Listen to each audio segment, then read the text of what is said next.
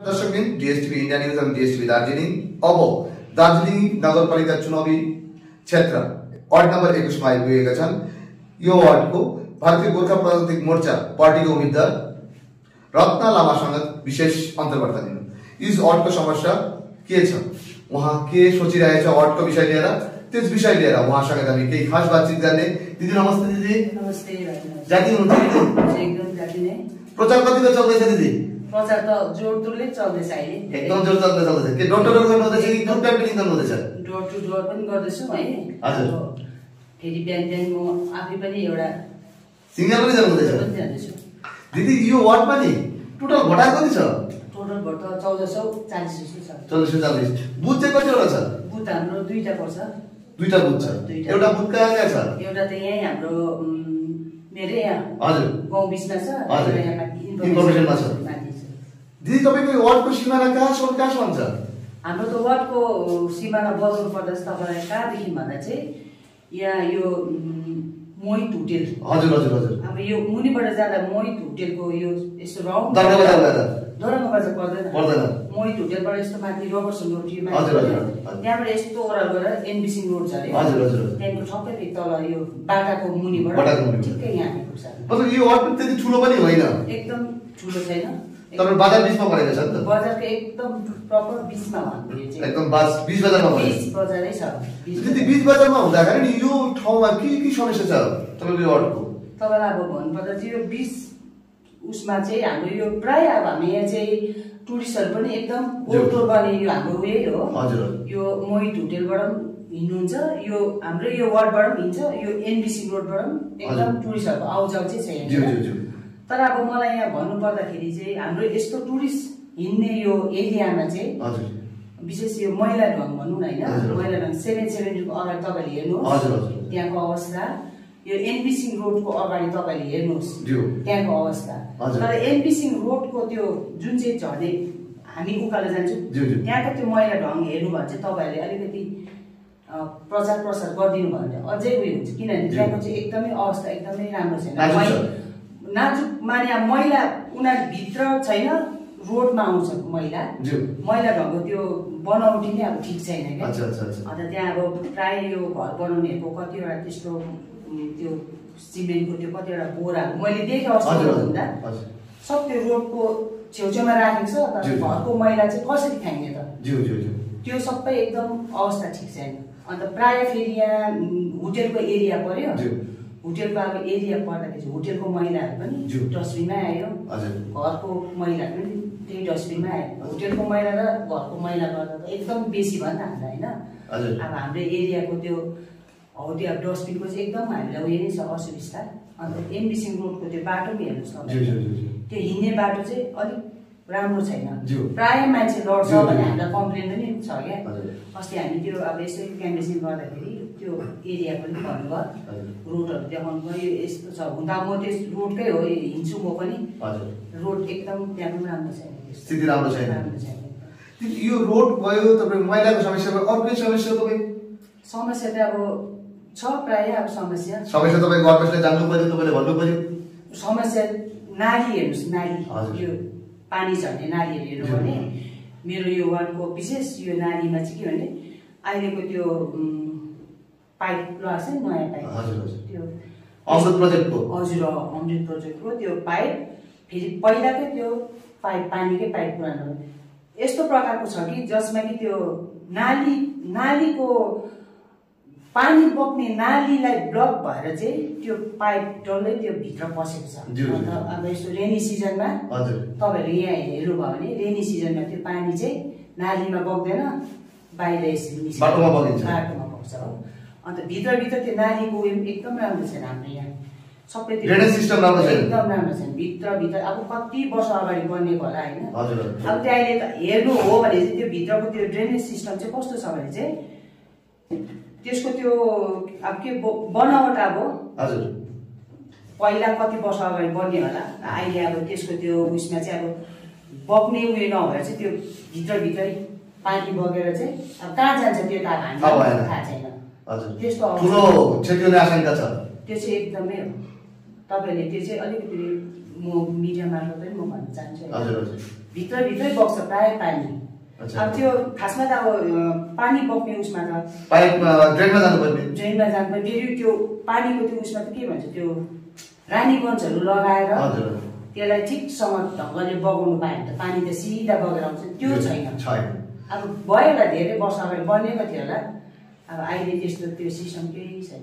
दिदी बजारमा मान्छे आउजात बेसी छ यता एउटा पर्यटन स्थल पनि भन्नुभयो मतलब त्यता टुरिस्टको आइजात बेसी छ। एकदम छ। यो ठाउँमा सिक्युरिटी सिस्टमको लागि तपाईँले के सोच्नु भएको छ? हजुर तपाईँले ठिक भन्नुभयो होइन। हाम्रो यो एरिया त अब मेन बजारै हजुर। अब त्यसको लागि चाहिँ अब मैले एउटा सोचेको छु। अब एउटा सिसी क्यामेरा लगाउने। होइन। अब यो लगाउनु पायो भने चाहिँ अब हाम्रो वार्ड हाम्रो वार्डलाई हाम्रो समाजलाई राम्रो हुन्छ जस्तो लाग्छ मलाई। दिदी तपाईँको वार्डमा कतिवटा समाज छ? समाज हाम्रो एउटै एउटै समाज। कम्युनिटी हल छ तपाईँको वार्डमा? कमिटीहरू छैन एउटा समाज चाहिँ छ। समाजघर छ। हजुर समाजमा चाहिँ छ। यता अरू विशेष तपाईँले के के डेभलप गर्न चाहनुहुन्छ? तपाईँको के इच्छा छ तपाईँको वार्डको लागि विकासको निम्ति? विकासको निम्ति त अब धेरै इच्छा छ। जस्तो तपाईँ इच्छा बताउनु पऱ्यो तपाईँको भोटरलाई त सुन्नु पऱ्यो नि त तपाईँको इच्छा। इच्छा त अब धेरै छ जस्तै अब हाम्रो समाजघर त छ होइन। हजुर। तर समाजघरमा पानी छैन। हजुर। किचनको प्रबन्ध छैन। अब भाँडाकुँडा त प्रायः प्रायः अब हाम्रो मेम्बरहरूले उ गरिसकेको छैन। तर। सबभन्दा अब वार्ड वार्डभरि मैले एक्काइस नम्बर वार्डभरि हेर्नु हो भने चाहिँ। एउटा एउटा जग्गा पायो भने चाहिँ हामीलाई कम्युनिटी हल भएको चाहिँ एकदमै राम्रो हुन्छ। तपाईँ भन्नुहुँदैछ बजार जस्तो ठाउँमा जग्गा पाउने त बहुत मुस्किल छ। मुस्किल छ। त्यही त हो त्यो चाहिँ अब अब त्यो चाहिँ अब कसरी गर्नु हामीले? हजुर हजुर। त्यस्तो भए चाहिँ राम्रो हुन्थ्यो। राम्रो हुन्थ्यो। के के गर्न चाहनुहुन्छ आफ्नो वार्डवासीलाई? वार्डवासीलाई त अब त्यही हाम्रो गर्नु त त्यही अब सानसानो कतिवटा कुरा सुविस्ताहरू दिनु चाहिँ म चाहन्छु। हजुर। अब मैले म्युनिसिपालिटीबाट मैले के चाहिँ पाउँछु गर्नुपर्ने मैले? हजुर, त्यो त म सुविधा त म वार्डवासीको लागि सबै नै म दिनु चाहन्छु। हजुर हजुर। सबैलाई सुविधा अब जस्तै अब कतिवटा कुरा आउँछ होला म्युनिसिपालिटीमा। होइन त्यस्तो कतिवटा कुरा मैले खोजेर निकालेर ल्याउनु पायो भने चाहिँ म गाउँ समाजलाई मेरो वार्डवासीलाई होइन? हजुर। त्यसरी म हेर्न चाहन्छु। तपाईँको वार्डमा वृद्ध भत्ता पाउने सङ्ख्या कति छ? तपाईँलाई थाहा छ? वृद्ध भत्ता पाउने त छ होला। मलाई एक्चुअली त्यति थाहा छैन। मलाई थाहा छैन।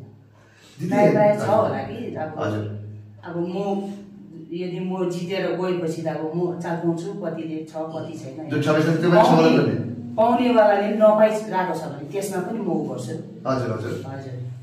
अच्छा दिदी तपाईँको यो वार्डबाट कतिजना प्रार्थीले उम्मेदवारले प्रतिस्पर्धा गर्दछ चुनावमा? हाम्रो त चारजनै हो। चारजना चारवटा पार्टीको चारवटा पार्टी तपाईँलाई कसोसँग ज्यादा क्लोज पाइप जस्तो लाग्दैछ तपाईँलाई? तपाईँलाई चुनावमा? त्यस्तो त छैन त्यति साह्रो। चुनावी प्रतिस्पर्धा कोसँग बेसी हुँदैछ तपाईँलाई? त्यस्तो मलाई लागेको छैन? मतलब तपाईँलाई जित कतिको बारेमा निश्चित छ तपाईँको तपाईँ कतिको कन्फिडेन्स छ? अब जित त अब अब के जित त अब एक एकवटा आफ्नो उयो हो होइन? जति सक्दो मैले जित्छु भनेर म पनि उठेको भोट। हार्छु भनेर त कोही पनि उठ्दैन।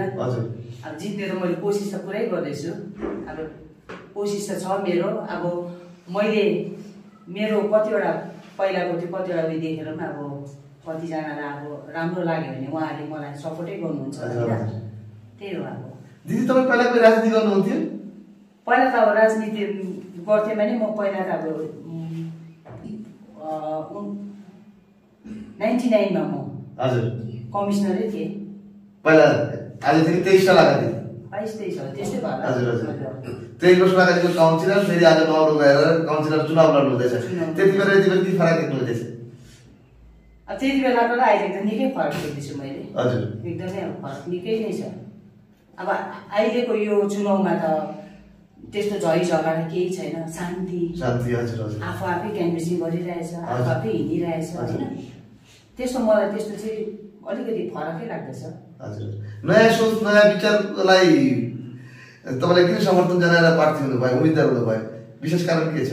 त्यही अब नयाँ सोच नयाँ विचार अब। त्यही हो शान्ति। अब राम्रो उहाँको विचार अब अनिल थापाज्यूको। विचार राम्रो लाग्यो मलाई होइन? अब उहाँको विचार राम्रो देखेर नै मलाई पनि अब इच्छा लाग्यो फेरि राजनीति गर्नु। त्यही लाग्यो मलाई अब। दिदी त्यति बेला जति बेला काउन्सिलर थियो नि त्यति बेला कुन पार्टीको काउन्सिलर थियो तपाईँ? जिएलको काउन्सिलर। त्यस पश्चात तपाईँको ए मतलब प्रत्यक्ष राजनीतिबाट अलिकति टाढै थियो तपाईँ? काउन्सिलर दुई हजार चारसम्म काउन्सिलर हुनुहुन्थ्यो तपाईँ। राजनीति गर्नु भएन एकदमै म Silent बस्नुभयो? साइलेन्ट आफ्नै आफ्नै उसमा म बसिरहेँ ज्यू। होइन अब त्यस्तो मैले केही उयो गरिनँ। दिदी यति वर्ष तपाईँले ग्याप दिएर नि पछि फेरि राजनीतिमा आउने किन इच्छा लाग्यो? अब राजनीति म त अब राजनीति भन्ने त मलाई त्यस्तो उयो छुइनँ म ज्ञान पनि छैन मलाई होइन। तपाईँ त एउटा पोलिटिकल म त एउटा होइन त म त एउटा समाजसेविका हो। गाउँको म समाज गर्छु बाहिर। समाजसेवा गर्छु म होइन। अब मैले म उठेर मैले मेरो गाउँको लागि मैले केही सब सेवा गर्नु सक्छु कि? कतै मैले गाउँवासीको लागि मैले राम्रो काम पो गर्नु सक्छु कि होइन? त्यो इच्छा चाहिँ मेरोमा छ किनकि तपाईँकोमा एक्सपिरियन्स सधैँ छ काउन्सिलरमा पनि के गर्नुपर्छ। त्यो एक्सपिरियन्स तपाईँको सधैँ छ? त्यो फेरि काम लगाउने त्यही इच्छा लागेको? त्यही इच्छा मलाई छ। इच्छा त मैले त्यही राखेर गरेँ अब एक्सपिरियन्स पनि सधैँ छ? हजुर।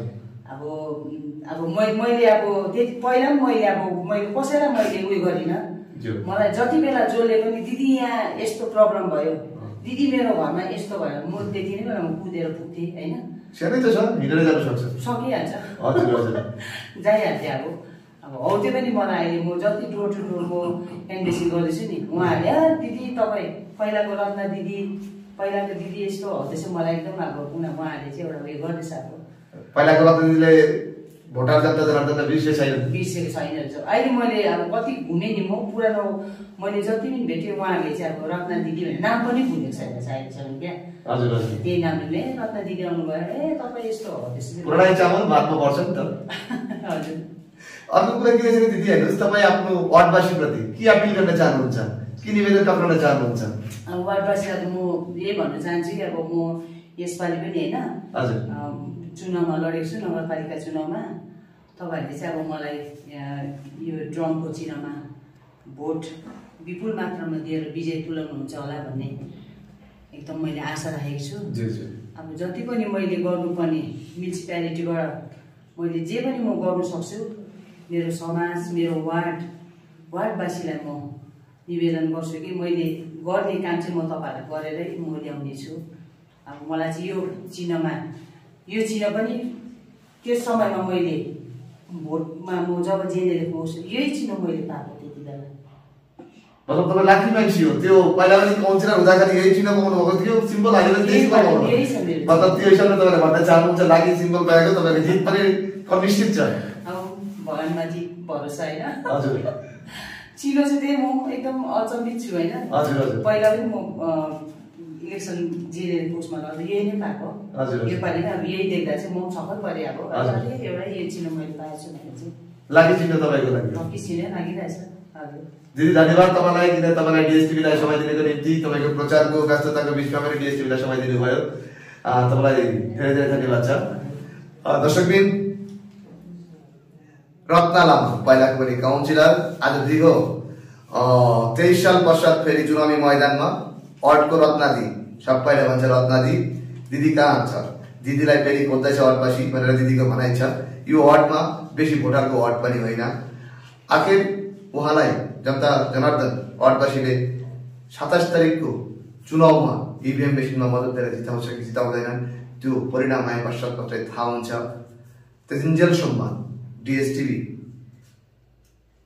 फेरि एकपल्ट ক্যামেরায় তেরশো ছেত্রীর সাথে বিক্রম হিমন সভা মিলন ছেত্রী ওয়ার্ড নাম্বার একাইশ দার্জিলিং।